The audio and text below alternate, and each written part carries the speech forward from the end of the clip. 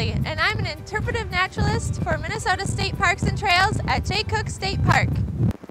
I saw many animal friends on my outdoor adventures during the long, warm days of summer. But as we get shorter days and longer nights, temperatures get colder as we move into fall. As I've been outside on my nature walks, I've made a lot of observations about how nature changes through the seasons. And I've started to notice animals prepare for winter. During fall, there's a lot of animals and a lot of food available. Oh, hey, there's a squirrel. Wow, it sure has its paws full of acorns. Wow.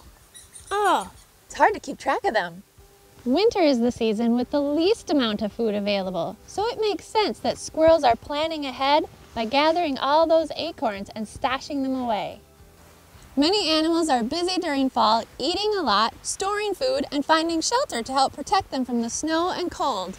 I noticed squirrel's tail getting fluffier, so it can use it as a scarf. Many animals will grow thicker fur and warmer feathers. Some animals grow so much fur around their feet that it changes their shoe size. This helps them to scoot across the snow easier. You and I will have to put snowshoes on to do that. A few animals change their fur color so they can hide from predators by blending in with their surroundings. So as the amount of sunlight gets less and the temperatures get lower, some animals adapt or make changes as best they can to get through winter. Other animals head to places to make sure they get as much sunlight as possible. Hey, there's a Canada goose. I think it's waving hello. Oh, I thought that was just one. There's a whole group of geese. Maybe I startled them. The whole flock is flying away. I wonder where they're going. Through my observations, I discovered that our geese friends packed up and left town to fly to a warmer place for the winter. Geese spend a lot of time in Minnesota lakes during warm months, but those waters freeze when it gets cold. Besides that, they eat aquatic plants, insects, and grasses. Tough to find those here in winter. Many animals can't get to their food source in cold, snowy habitats, so they need to migrate or travel south where it's warmer. Which makes me wonder, how does a migrating animal know where to go? Some use their eyesight to follow landscapes. Some feel it's safer to fly at night, so they look at the stars to help them navigate. And other migrators just know where to go.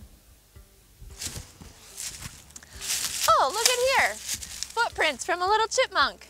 Maybe it'll pause to say a friendly hello. The tracks lead this way. There it is. Wow, it must be hungry. Its cheeks are full. Normally, chipmunks are chatty.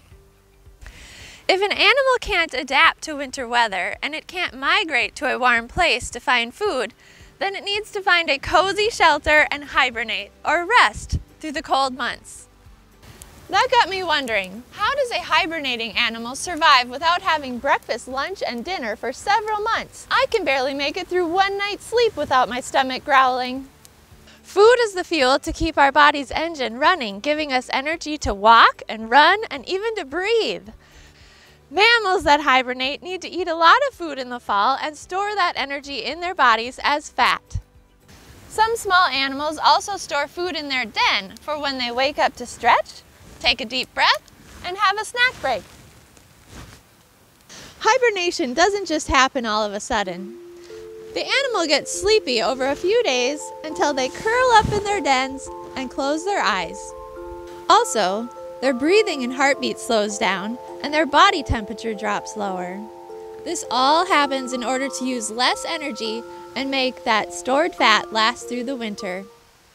Brr, it's gotten chilly. Well, we tried to say hello to the animal friends, but I guess they all had other things to do, preparing for changes as best they know how as we head into winter.